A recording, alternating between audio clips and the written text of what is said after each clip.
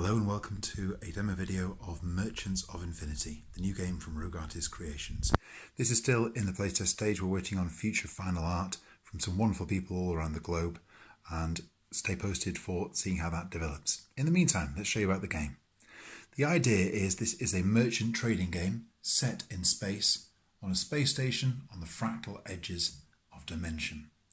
Along the way, there'll be a certain amount of worker placement, resource management, bit of set collection, a little bit of auctioning, a certain amount of hand management. The idea is to use lots of different mechanics to really show how we've moved on in game design and show an even better version than before. So, what you do is you are in charge of a number of traders. You yourself are a merchant. So, on your turn, you'll basically place your merchant, your traders out at different positions to try and collect resources available on the space station. There are 10 common resources. You have jewels, navigation, books, fuel, food and drink, fashion, ore, souvenirs, tools, and creatures. Now, the idea is you collect a variety of different resources that suits your needs for that turn. Now, depending on how you're going to score different points, will depend on a few things. For a start, the different commodities are worth a different amount each turn depending upon the market value, which can change each turn. So, for example, if navigation is worth 9 points this turn, it might be worth 7 points the next. So this may depend on which combination suits you best if you're going for market values. However, you may not wish to do that. You may wish to visit one of the spaceports, of which there are two. At the spaceports, you can pick up a ship order, which needs a nice, a nice variety of goods, and different combinations can score you different amount of points, anything from 20 up to 35 or more with different bonuses. Now, you will have a certain amount of cards that you have to fulfill at any one point. Now, these are kept secret from the other players, they don't know exactly what you're after. You might also be able to pick up from the Black Hole, a trading place, some bonus side missions. So you might have things like delivery missions, bounty missions, or even espionage, where you can basically win some bonus points just by happening to have a person in the right place. If things don't go too well and you can't get the combination that you want, you can always visit the Steam Lab right in the middle, where you can basically trade in the goods you've got for a roll of the dice. So, in any way, whichever shape form you can do, there's always ways to score points. So, what might a typical turn look like? Let's imagine that the market looks like this. The way that you actually determine first player in this game, I wanted something a bit unique, something that, that hadn't really done, been done before. So, the idea is there's a mini game called Cogs. Before the market starts trading, all the traders are basically getting together and bragging and psyching each other out and trying to get a mental one up against on their opponents. So, you have a mini hand of cards. You're able to play up to five cards at a time, and depending on the combination of these, you will basically work out who goes first. So let's imagine my turn I choose to play three cards. I will play a 2, a 0 and a 1. Now all the opponents know is I'm playing three cards face down which are revealed one at a time. So the zero cards might not actually have much worth in themselves, but they're good to psych out to the players.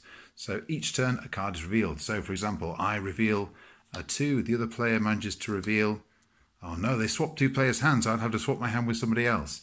My next card would be a zero, and finally a one. So I'd have three points less than something else is untoward, and the idea is whoever has got highest position goes first. So turn order. Red player is presumably doing very, very well. They've got first brown player, and then let's say black player is next. So this is the turn order. Now, depending upon how many people are playing, you play a different number of turns. So if there are two players, you can play up to six turns. Whereas, for example, if you're only on four or five players, you may wish to play less.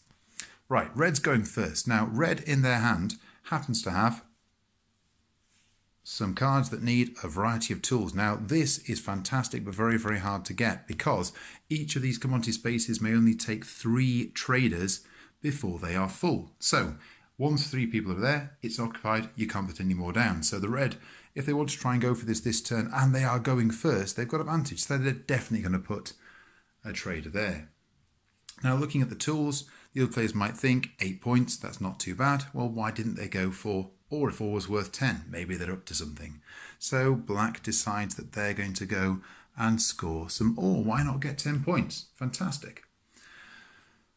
Now, brown might choose to go to the space port and pick up one of the three available missions. So they might choose to pick up this one here, it's worth 30 points. You would need two souvenirs and some fashion.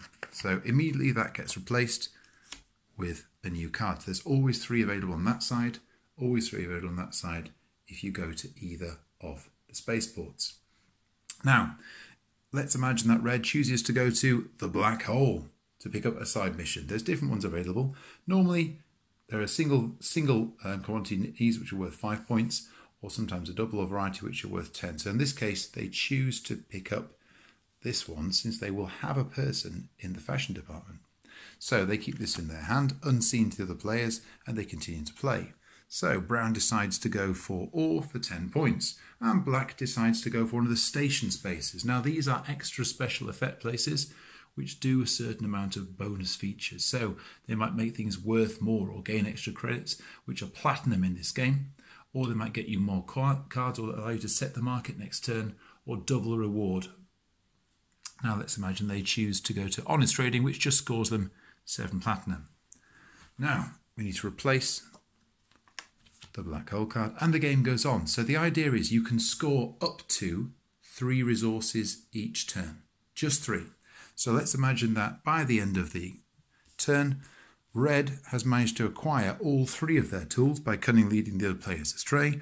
Let's imagine Brown has got a variety here, and let's imagine Black has got here. Now Red may have gone a couple of spaces, as may have Black and Brown. So, once all the players have placed their pieces out, you resolve the scoring.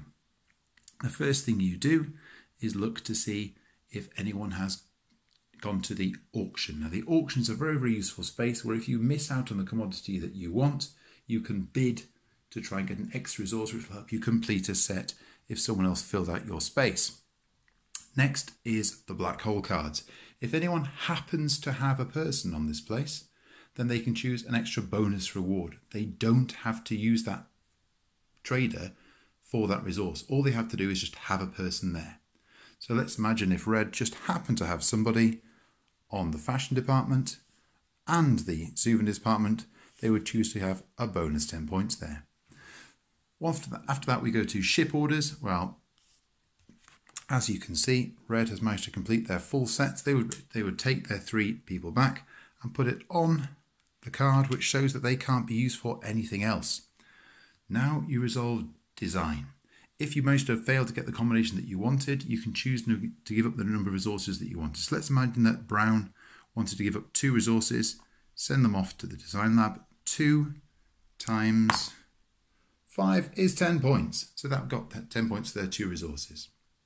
Finally, it's everything else. So you resolve the other spaces. So for example, black would earn a seven platinum for their trader and you resolve any extra devices. So at the end of each turn, all the scoring is resolved, everyone has got their traders back, and you begin again for a new round. So let's look at round the board. We do have the different station spaces, which are always positive effects to help your players. As an option, but by no means obligatory, there are some Nova spaces down here, which do a variety of negative effects. This is an optional extra for those that do like a bit of player versus player PvP in their game, but by no means are they compulsory. If everyone agrees to use them, they can be used, but if people aren't comfortable for using them, you can just play a positive game instead. Other things to point out are the school of thought. This is basically where you can get an extra apprentice trader to add to your collection of people and you use for an extra trader until, of course, someone else on a later turn decides to go for there and then they steal the trader for themselves.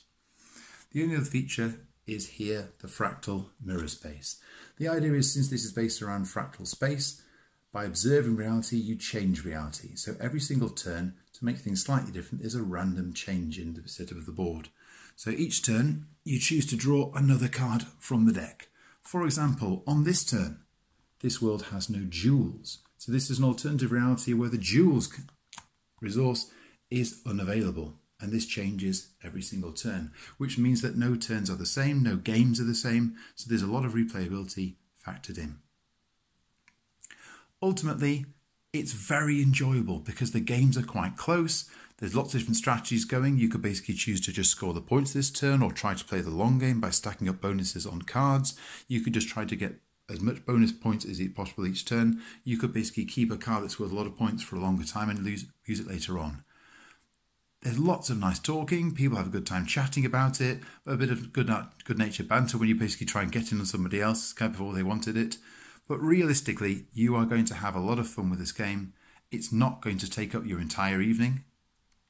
We've played different we different sample games between about an hour, 45 minutes, up to two hours if you want to play a very long game with lots of people, but it will not eat up your entire evening. It's lots of good fun. We're awaiting fantastic new designs and working with artists from Malaysia and um, Indonesia and Argentina for fantastic design. And we'll keep you posted as the further news comes in. But it's going to look amazing when it's done. It's going to play really, really well. Playtesting has been very, very positive so far. And it's hopefully going to come towards Kickstarter when it's ready next year.